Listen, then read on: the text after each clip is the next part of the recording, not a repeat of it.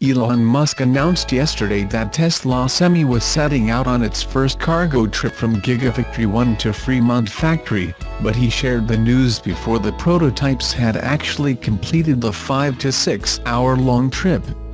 Interestingly, the two electric truck prototypes have now been spotted at a supercharger station near Sacramento, a little more than halfway through the route. There's a lot of hype around the Tesla Semi because if the specs and price point that the company is claiming are true, it would create a new standard and revolutionize the cost of freight transport. A Tesla semi-test program partner already said that performance specs are for real, but some people are still skeptical about the range, which Tesla claims can be up to 500 miles on a single charge with a full load. The vehicle is currently being put through a test program and Musk said that he is even optimistic about beating those specs that competitors already don't believe possible. A successful demonstration of a full cargo run between Tesla's Fremont factory and Gigafactory 1 in Nevada would already go a long way to prove the naysayers wrong, but it doesn't look like it will be the case with the first run. Tesla did a pit stop at a supercharger station in Rocklin near Sacramento as spotted by a Redditor. One of the two Tesla semi-prototypes can be seen using at least one supercharger charge point. It's not clear if the trucks actually needed to charge or stop for testing or any other reason. The Tesla supercharger in Rocklin is just about 132 miles from the Tesla Gigafactory 1 where the trucks reportedly started their journey.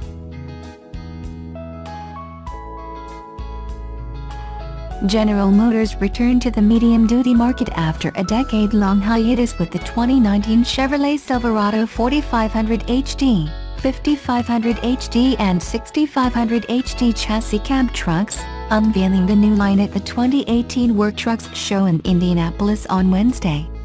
The 2019 Silverado 4500-6500 HD features a bold and muscular front design and is powered by GM's 6.6-liter Duramax V8 diesel engine. The truck, designed in partnership with Navistar International Corporation, was designed to be completely flat to provide greater ease for upfitters to customize. A factory-installed rear air suspension is available for improved ride quality.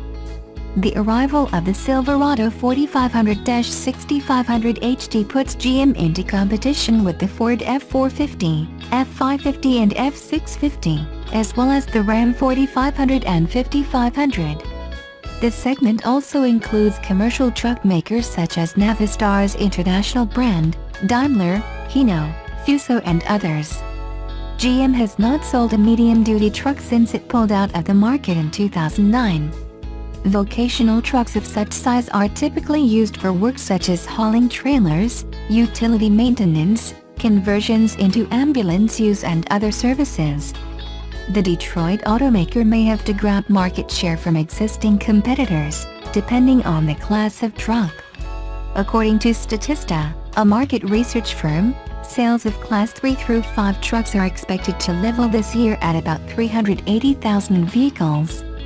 The automaker may have an easier road one notch up. According to Statista, sales of Class 6 and 7 trucks are expected to grow 7% this year to nearly 133,000 vehicles.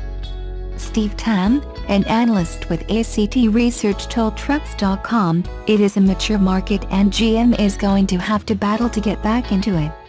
The automaker, however, will attract customers who have wanted larger Chevrolet trucks and bought from rivals because the automaker didn't have the right models, he said. GM's rivals are unlikely to yield sales without a fight. Kevin Koester, Ford's medium-duty truck and F-Series Super Duty fleet brand manager said, We've been dedicated to this space for a long time. Our marching orders are to lead the segment.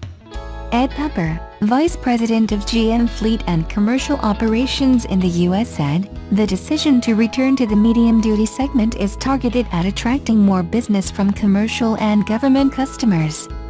GM Fleet delivered nearly 300,000 vehicles to commercial and government customers in 2017, its most since 2008, the automaker said. The increase helped GM gain 1.4 percentage points of market share. Pepper said that the Silverado 4500-6500 HD models are part of GM's strategy to continue that momentum by expanding Chevrolet's product segments. The idea that commercial customers prefer to buy vehicles of different sizes from one automaker, rather than purchasing one size from Chevrolet and another from Ford, for instance, is a common refrain among automotive executives. Pepper said, the more choices we offer truck customers, the more we drive sales across our entire portfolio. That's because brand and dealer loyalty run deep in this business. GM will provide order guides to potential customers in spring 2018 with pricing to be announced in the summer. Production will begin by the end of the year. The automaker expects the new line of Silverado medium-duty trucks to be carried by more than 400 commercially focused Chevrolet dealers. The frame was designed to be completely flat and free of obstructions on top. Wiring is fed through the frame itself rather than on top of it. GM believes this will provide upfitters with easier installation and removal of bodies and cab styles. The trucks will also have lengthened frame rails behind the rear axle to accommodate long cargo boxes and a lightweight hood that provides greater access for maintenance and repairs. The Silverado 4500-6500 HD promise an improved driving experience compared with other medium-duty trucks thanks to a hood designed to increase visibility, good turning radius and the availability of the factory-installed rear air suspension.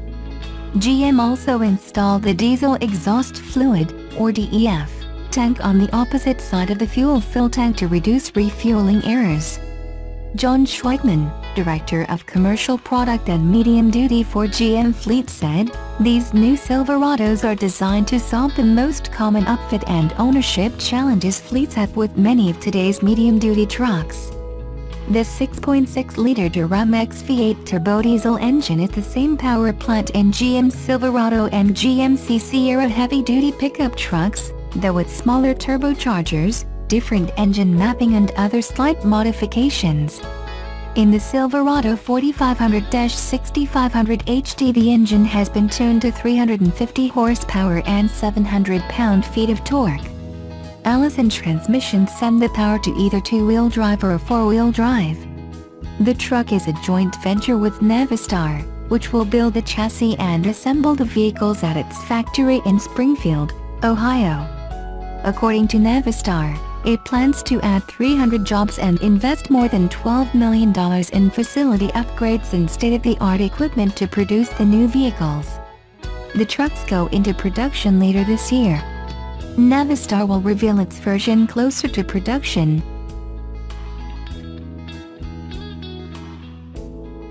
plug-in hybrid vehicles such as the Honda Clarity are likely to play an increasingly significant role in the majority of automobiles in the near future. Still, Honda is hedging its bets when it comes to future propulsion systems and has also developed hydrogen electric and battery electric versions of the Clarity. For now, they're only available for lease in California and Oregon. The mid-size sedan is similar to the Honda Accord in length, width and height, but the Clarity is about 7.6 cm shorter between the front and rear wheels.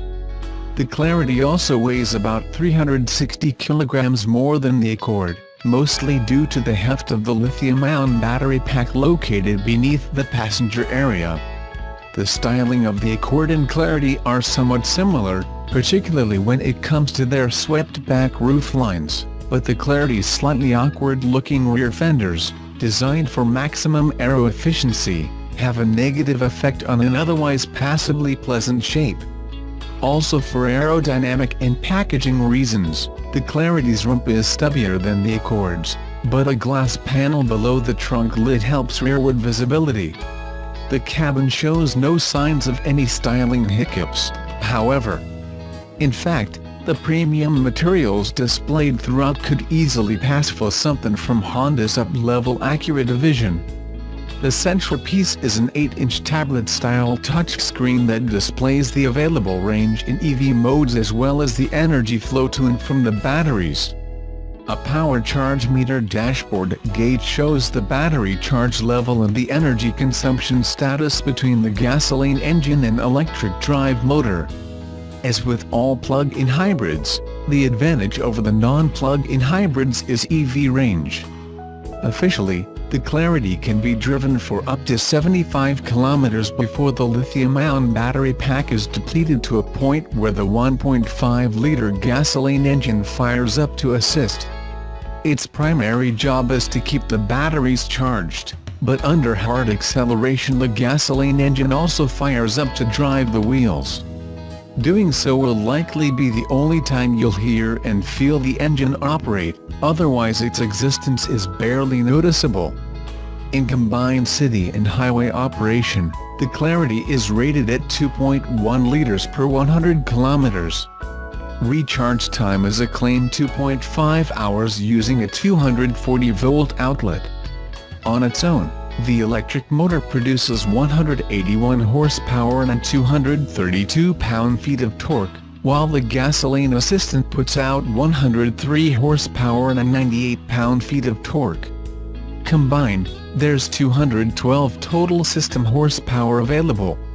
Comparatively, the Toyota Prius Prime plug-in system makes 121 horsepower, while the Ford Fusion Energi plug-in makes 188. Instead of a transmission, the Clarity is fitted with a single-speed controller, much like those used in pure battery electric cars. Driving the Clarity is a smooth and quiet experience. Power is decent for such a hefty sedan, steering is precise and the car's low center of gravity seems to help it hug the road.